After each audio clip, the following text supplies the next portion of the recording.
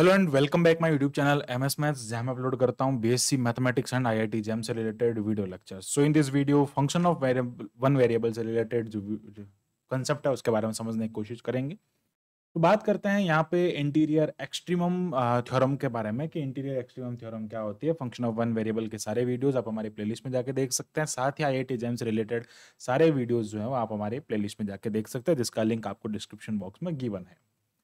सो so, बात करते हैं इंट्री इंटीरियर एक्सट्रीमम थ्योरम के बारे में। सो यार ये थ्योरम क्या होते हैं? इसको समझते हैं। तो बात करते हैं सबसे पहले कि C is an interior point in interval I तो यार एक आई इंटरवल में एक इंटीरियर पॉइंट जो है वो सी है और यहाँ पे at which F I F I tends to R यानी कि एफ़ आई टू आर है हैज़ एक्सट्रीमम वैल्यू एक एक्सट्रीमम वैल्यू है उस पर और एफ़ डैश जहाँ पे ज़ीरो है। अब इसको समझते हैं क्या होता है।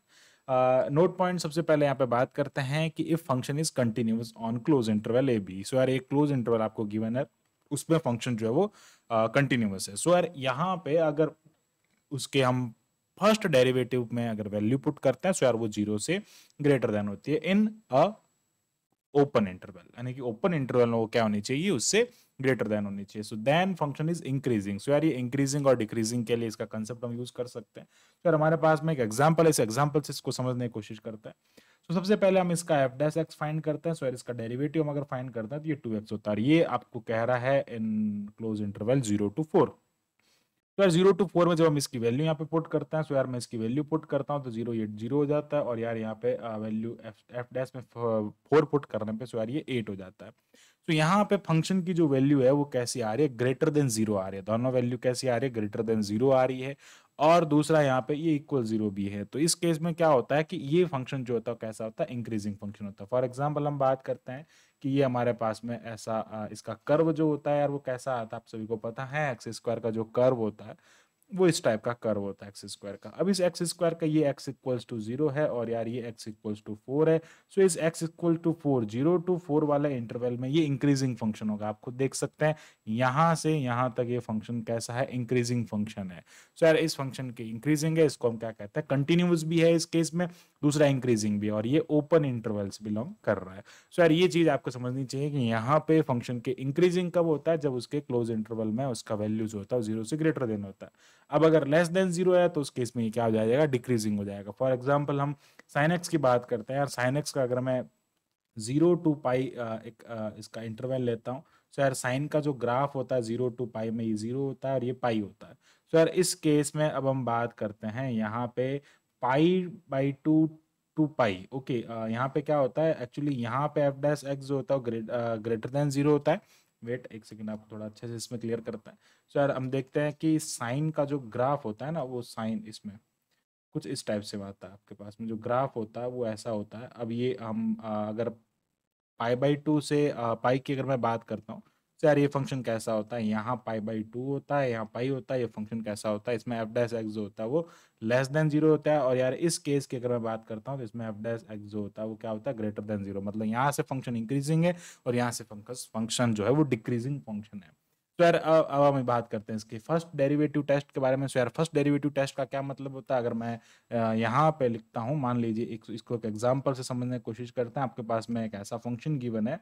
एक्चुअली जो हमने अभी पढ़ा, वो फ़र्स्ट डेरिवेटिव फ़ंक्शन ही है फ़र्स्ट डेरिवेटिव टेस्ट ये है उसका। ये यहाँ पे हम कहते हैं कि इस केस में, यहाँ पे पॉइंट सी है सो एफ़ सी ये हो जाएगा। अब एफ़ डेस एक्स की मैं बात करता हूँ तो यार वो ज़ीरो से लेस देन होगा, क्योंकि यहाँ पे फ़ंक्शन जो है वो इंक्रीजिंग है सॉरी डिक्रीजिंग है। और यार यहाँ पे इंक्रीजिंग है तो क्या हो जाएगा? F dash x greater than zero हो जाएगा। अब अब कहीं कहीं ऐसा होता है, ये कब होता है? जब प्लस से माइनस की तरफ़ होता है, यानी कि पॉजिटिव से नेगेटिव चलता है। अब अगर मैं बात करूँ नेगेटिव से पॉजिटिव की तरफ़ अगर चलता है तो उस केस में क्या होगा?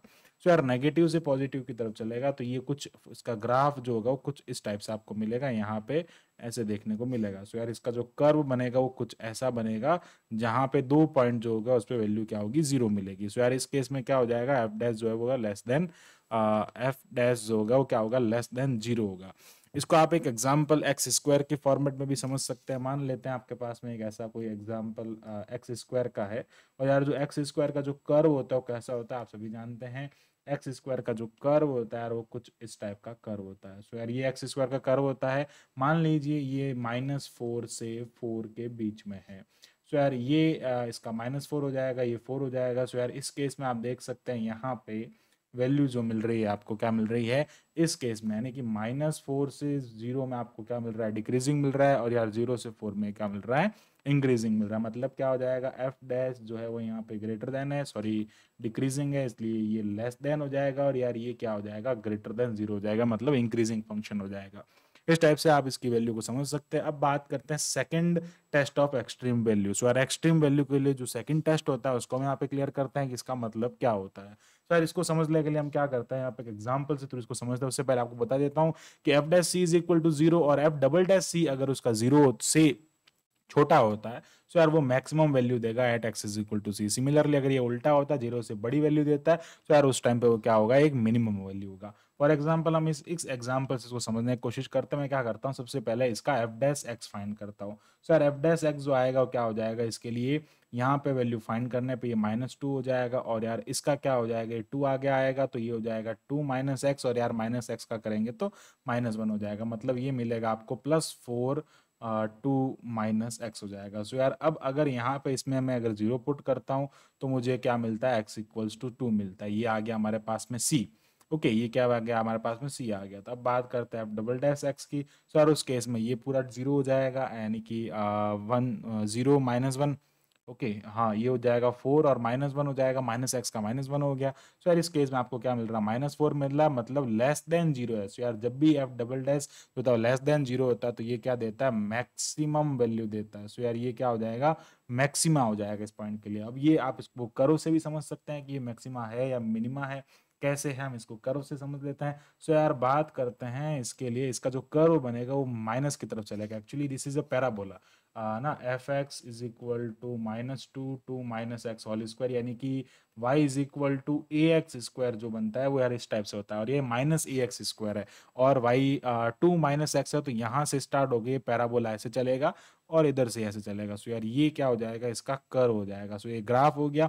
अब इस ग्राफ को आप देख सकते हैं, x इज़ इक्वल टू आपको टू मिलेगा और ये ग्राफ कैसा देगा, x is equal to two पे इसकी वैल्यू मैक्सिमम वैल्यू होगी। सिमिलरली अब अगर मैं यहाँ पे प्लस कर देता हूँ फॉर एग्ज़ाम्पल अगर मैं यहाँ पे f x is equal to two x minus two का होल स्क्वायर अगर लेता हूँ तो ये क्या मिलेगा मुझे? एफ़ डैश इक्वल्स टू मुझे मिलेगा यहाँ पे फोर मिलेगा। Minus four two minus x हो जाएगा और इसकी वैल्यू ज़ीरो पुट करने पे x is equal to two मिलेगा। बट अगर मैं इसका एफ़ डैश फाइंड करूँगा एफ़ डैश एक्स फाइंड करने पे मुझे यहाँ पे इसकी वैल्यू फोर मिलेगी, जो कि ग्रेटर देन ज़ीरो होगी। मतलब ये क्या देगा? इसका मिनिमा होगा। अब ये मिनिमम वैल्यू कैसे देगा हम इसको भी यहाँ पे, ये मिनिमा होगा, इसको भी यहाँ पे कर्व के द्वारा समझ सकते हैं। सो यार बात करते हैं इस कर्व के बारे में तो यहाँ पे एक्स इक्वल्स टू वापस टू आ रहा है। सो यार ये हो जाएगा एक्स इक्वल्स टू टू और वापस ये पैराबोला बन रहा है, और वो इस टाइप का पैराबोला तो आप देख सकते हैं इस पूरे कर्व के लिए ये वाली वैल्यू जो है वो मिनिमा है। तो मतलब क्या हो गया, आपको इतना सा ध्यान रखना है कि f dash is greater than zero then ये हो जाएगा मिनिमा और यार f dash is less than zero so यार वो हो जाएगा मैक्सिमम उल्टा कंसेप्ट है। बड़ा है तो मिनिमम होगा और छोटा है ज़ीरो से छोटा है तो मैक्सिमम होगा। सो यार ये ट्रिक आप याद रख सकते हैं एक्सट्रीमम वैल्यू के लिए। सो यार आई होप आपको इसका कंसेप्ट जो है वो अच्छे तरीके से क्लियर हुआ होगा। So thanks for watching this video keep watching M S maths and subscribe the channel M S maths